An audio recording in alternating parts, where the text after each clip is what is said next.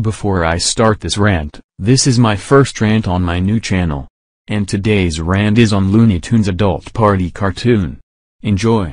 Looney Tunes Adult Party Cartoon? More like Looney Tunes Kids Friendly Cartoon. Oh my god. This show sucks so hard. This show was a huge disgrace to the original Looney Tunes. Which was way better than this. This show is too inappropriate. And it contains sex, violence, blood, gore, bad words, etc. And Warner Brothers Animation, what the hell is wrong with you? What are you thinking before you made this god-awful disgrace to the original franchise?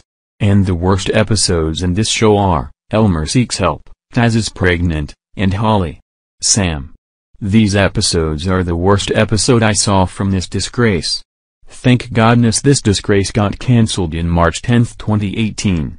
And I hope this show gets taken off the air this year. Do you know who likes this show? Jeff 171.